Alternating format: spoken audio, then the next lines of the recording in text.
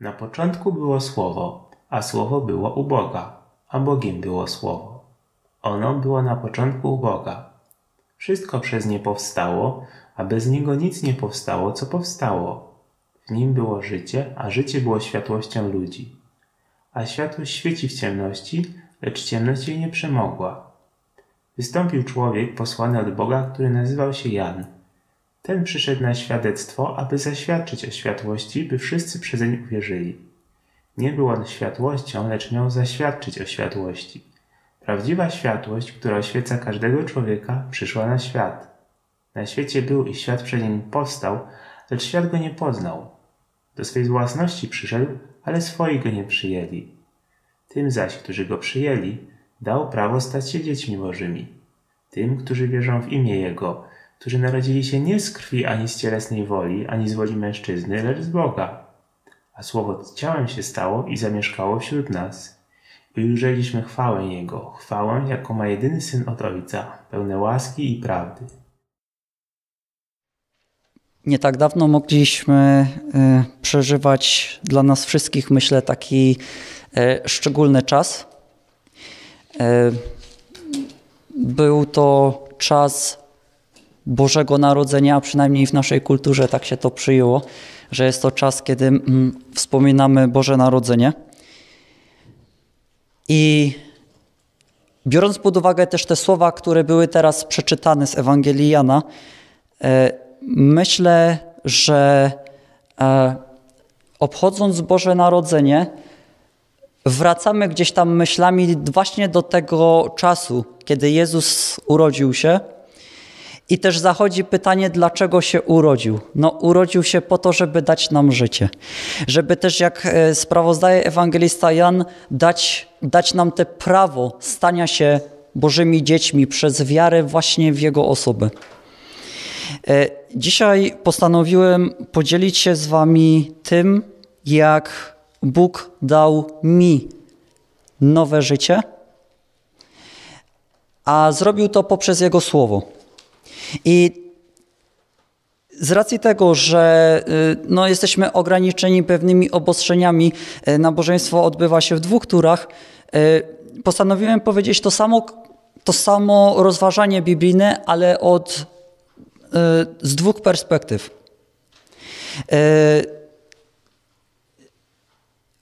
Rozdałem Wam karteczki. Widzę, że macie przygotowane, macie też do pisania. Oprócz, yy, chciałem, może tak, chciałem, żebyście zapisywali na tych karteczkach, żebyście mieli taką możliwość zapisywania na tych karteczkach yy, wnioski z naszego rozważania, ale oprócz tego chciałem Wam podać trzy pytania, na które chciałbym, żebyście spróbowali odpowiadać na bieżąco, słuchając tego, co ja będę mówił. To są trzy dosyć, myślę, proste pytania, bardzo ogólne. Odpowiedzi nie muszą być jednolite, nie ma jednej odpowiedzi. E, natomiast chciałbym, żebyście spróbowali na, to, na te pytania odpowiedzieć na podstawie tego, o czym będziemy mówić. I teraz uwaga. E, myślę, że byłoby miło, gdybyście znaleźli później w tygodniu kontakt z osobami, które będą uczestniczyć w drugiej turze, dlatego że oni też będą odpowiadać na te pytania, tyle że oni będą odpowiadać na te pytania z innej perspektywy. Więc to, co ja chcę zrobić, to to, jeżeli zapiszecie na przykład na jakieś pytanie odpowiedź i oni też zapiszą i się wymienicie tymi odpowiedziami w ciągu tygodnia, to dopiero otrzymacie pełny wniosek z dzisiejszego kazania. To nie znaczy, że jeżeli tego nie zrobicie, to będziecie to, to y, te przesłanie, które ja dzisiaj mówię, straci na, na znaczeniu, tak? Ale będzie ono pełniejsze, jeszcze bardziej, w momencie, kiedy e, dowiecie się od drugiej grupy o tym, co ja mu mówiłem. E, więc chciałem, żebyśmy. E, chciałem Wam podać właśnie te pytania. Pierwsze pytanie jest takie. Dlaczego zacząłem czytać Pismo Święte? Chodzi o mnie.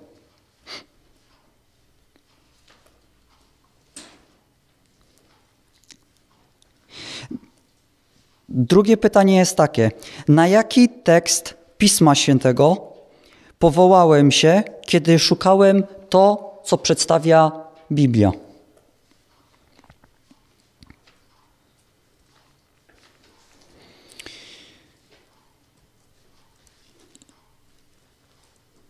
I trzecie pytanie. Co dało mi badanie Biblii?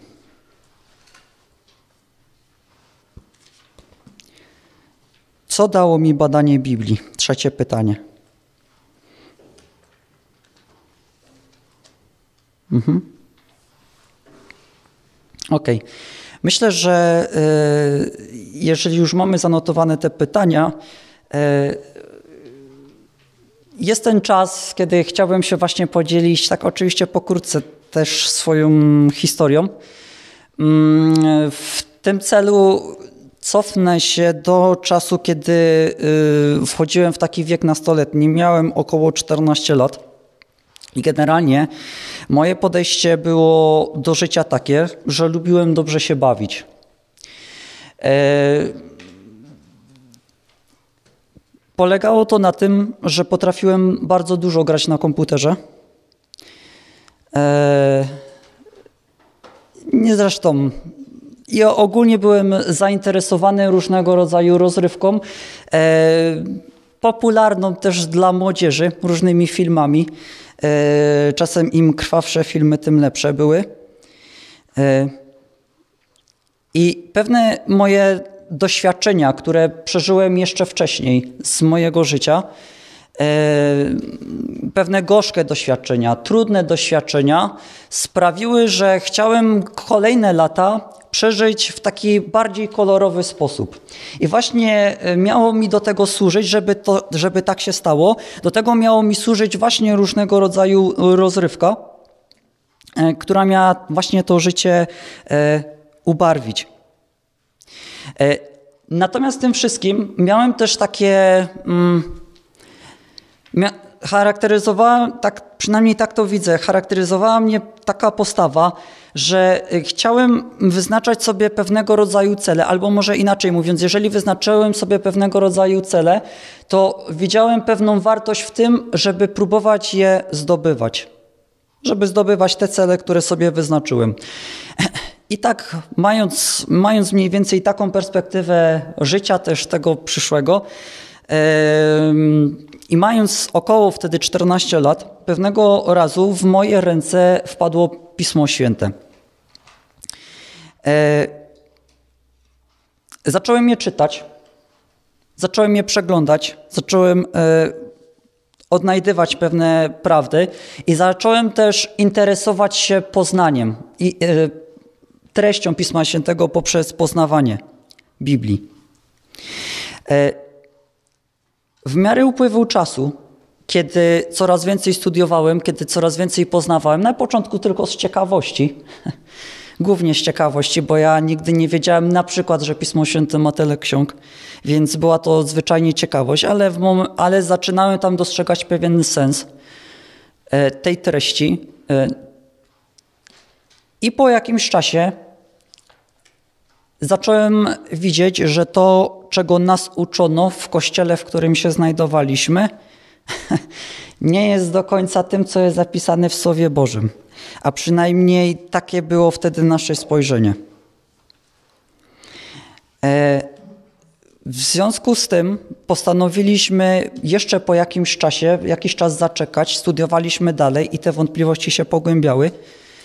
Aż nadszedł taki czas, kiedy postanowiliśmy razem z moją rodziną, to znaczy ja, moja mama i moja babcia, postanowiliśmy zaprosić e, przedstawiciela tego wyznania, czyli duchownego, księdza.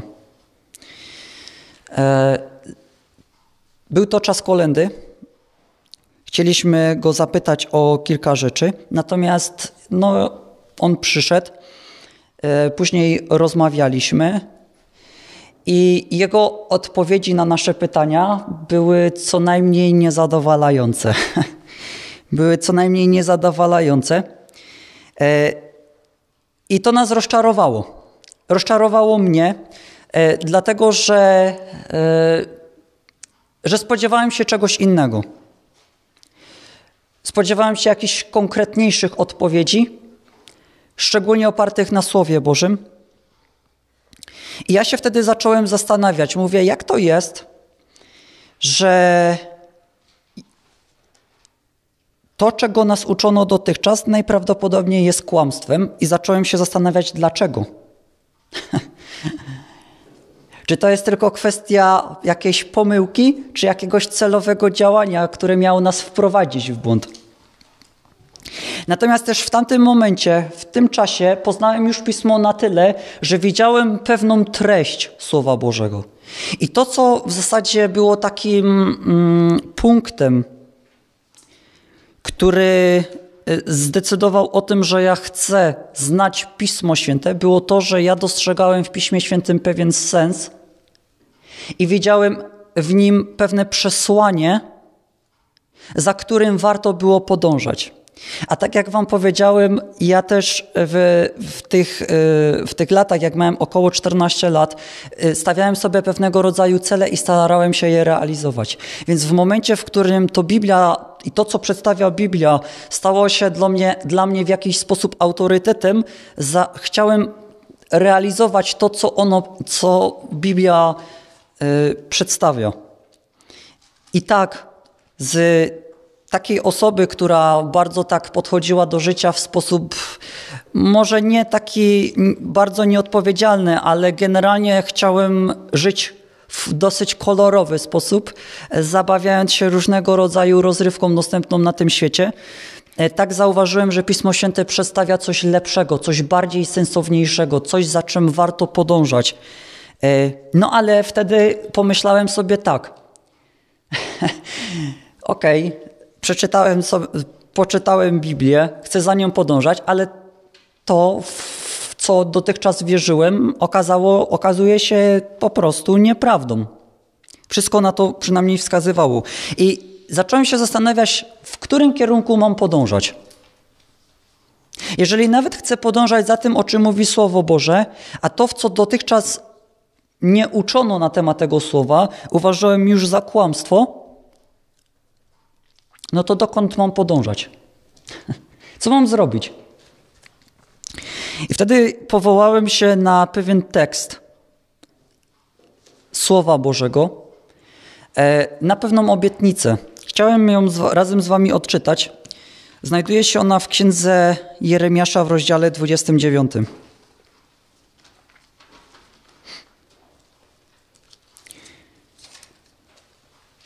Bóg kiedyś przez proroka Jeremiasza powiedział takie słowa. E, rozdział 29 i od wiersza 11. Albowiem ja wiem, jakie myśli mam o was, mówi Pan. Myśli o pokoju, a nie o niedoli. Aby zgotować wam przyszłość i natnąć nadzieją. Gdy będziecie mnie wzywać i zanosić do mnie modły, wysłucham was. A gdy mnie będziecie szukać, znajdziecie mnie. Gdy mnie będziecie szukać całym swoim sercem.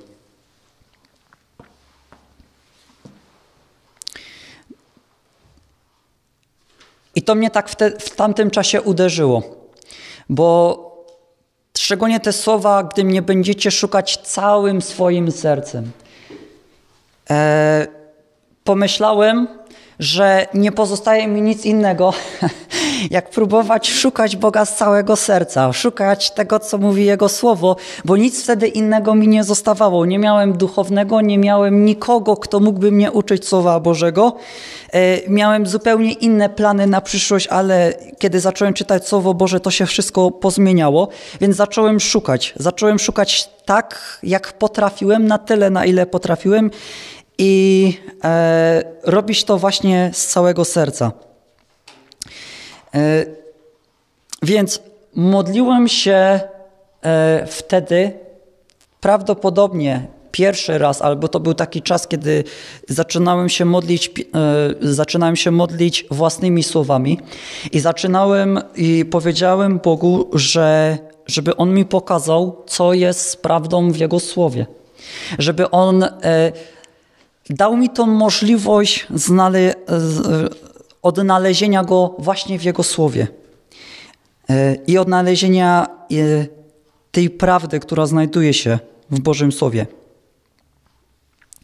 Modliłem się też o to, żeby pokazał mi, czy w ogóle ten kierunek, który obrałem, nie jest jakimś typowym szaleństwem.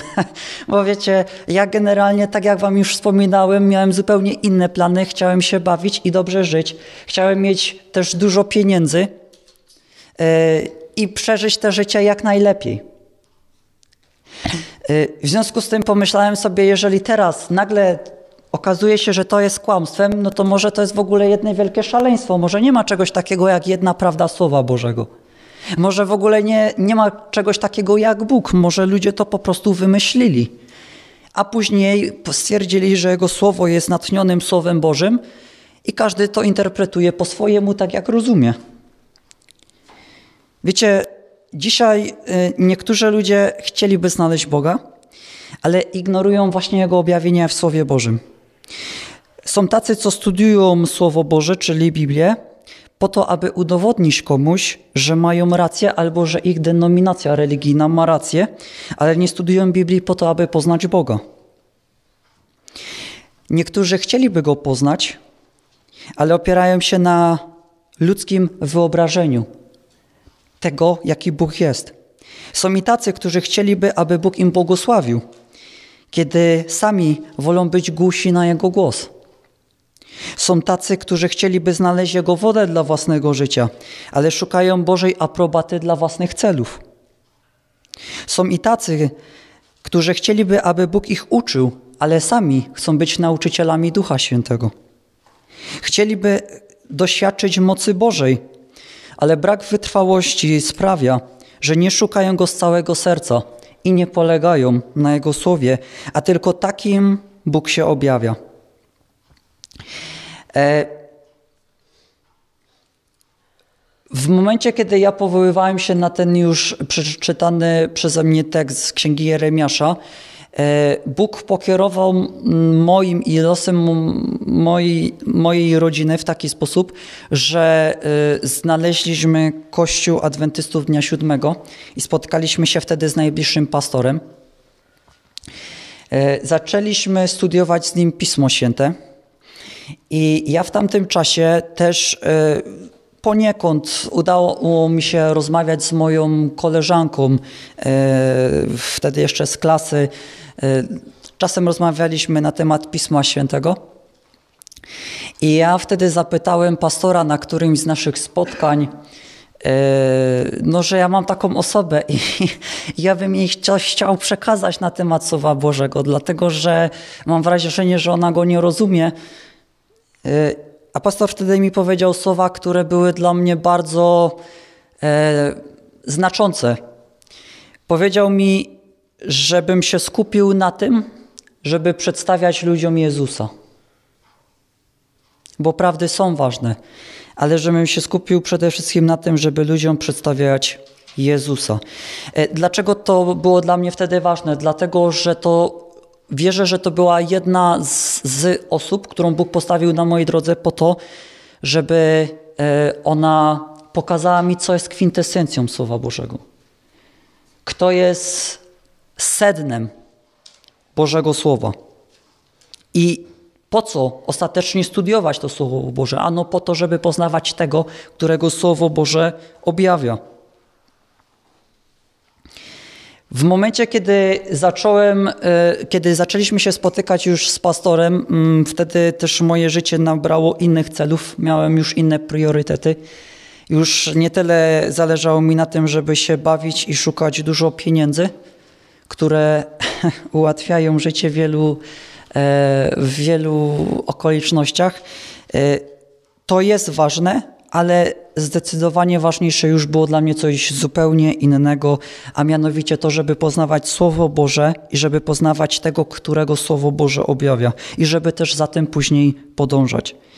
E, niedługo później e, postanowiliśmy przyjąć biblijny chrzest z moją rodziną i jakoś tak się potoczyło, nasze życie, też moje życie, że bardzo y, szybko zaangażowałem się w różne działania i projekty, które y, nasz Kościół podejmuje.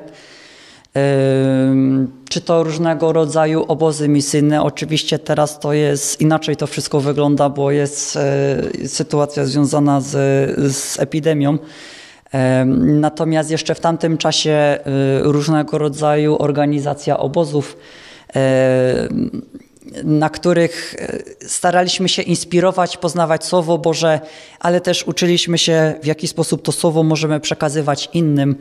E, angażowałem się, zacząłem się też w moim zborze angażować się też w różnego rodzaju działania. E, już wtedy, mając te 14, około 15 lat, Bóg postawił mnie w takim miejscu, gdzie mogłem zacząć próbować przemawiać publicznie. Yy,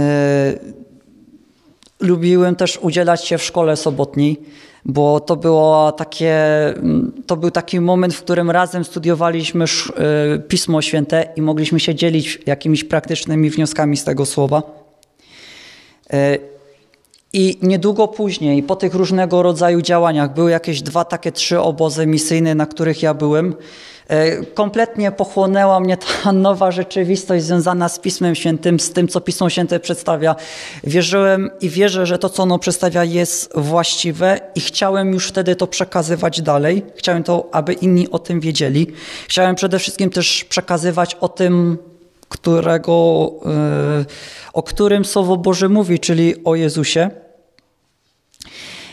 Niedługo później, po tym chrzcie, były jakieś dwa, trzy takie obozy misyjne.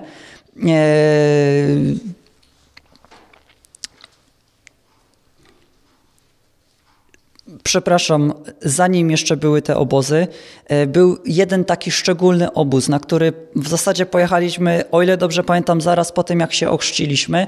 E, był to obóz, gdzie też, jeżeli dobrze pamiętam, było nas około 12 osób taka symboliczna liczba, no bo też i apostołów było 12. Ale co ciekawe, był to nasz pierwszy obóz, e, na którym my nawet się nie pisaliśmy.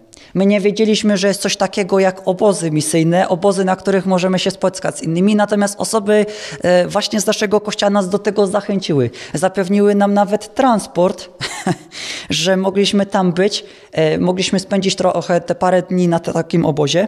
No i co? Później E, właśnie to był też taki dla mnie szczególny czas, bo mam wrażenie, że Bóg postawił wtedy kolejnych ludzi na mojej drodze, którzy mm, w późniejszych latach od, odegrały dużą rolę w, no, w, w kształtowaniu w ogóle mojej osobowości, też mojego charakteru, e, w poznawaniu Słowa Bożego.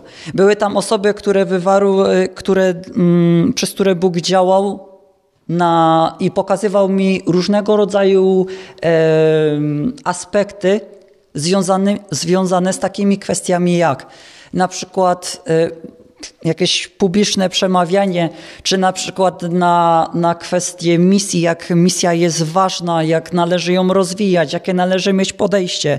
Były osoby, które zwracały wtedy też moją uwagę na to, że jako chrześcijanie powinniśmy zwracać uwagę na nasze zdrowie, na nasze ciało, na to, jak się odżywiamy. Więc mając wtedy te 14-15 lat, Bóg już na samym początku postawił dla mnie osoby, które po pierwsze e, skierowały mnie do Słowa Bożego. Tam pokazały mi Jezusa, później pokazały, jaki to ma praktyczny wymiar na moje życie.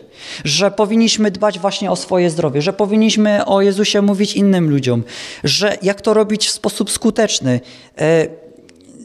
Dla mnie był to bardzo taki inspirujący czas i później jeszcze po tym obozie były jakieś dwa, około trzy podobne obozy i y, później był znowu taki czas, znowu inny etap się zaczął w moim życiu. E, mianowicie y, skontaktowała się ze mną moja przyjaciółka już teraz, ale wtedy e, jeszcze była to osoba, która nie była mnie, przeze mnie dobrze znana. Zaprosiła mnie na kolejny obóz. E, tym razem był to inny obóz, bo przeznaczony dla młodzieży. I to był czas, w którym misja młodzieży, myślę, że niektórzy z Was słyszeli, działająca w naszym kościele, szczególnie tutaj w diecezji południowej, e, zaczynała prowadzić różnego rodzaju obozy i ja na taki obóz zostałem zaproszony. I tam znowu Bóg poprzez osoby, które tam się znajdowały, wpływał na mnie i kształtował mnie chociażby pod takim, pod, w, e, mm, w, w takim kierunku społecznym, i też w kierunku emocjonalnym. Tam mając osoby e, mniej więcej w moim wieku, e, mogłem się też rozwijać pod różnymi względami. Bóg pozwolił mi odkrywać różnego rodzaju dary i pokazywał też w jaki sposób te dary używać właśnie w Jego służbie. E, to tak pokrótce. Więc myślę, że te pytania, które zadałem na samym początku, te informacje, które Wam już powiedziałem, e, myślę, że możecie zanotować. E, pamiętajcie, żeby o ile to jest w Waszej mocy, też e, spróbować porozmawiać z innymi osobami na ten temat podzielić się swoimi wnioskami i spostrzeżeniami. Natomiast kończąc już to, mm, chciałbym mieć takie ostatnie słowa. E,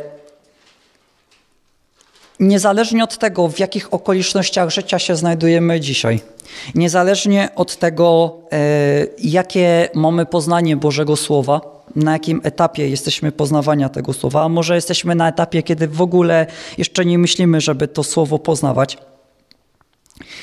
E,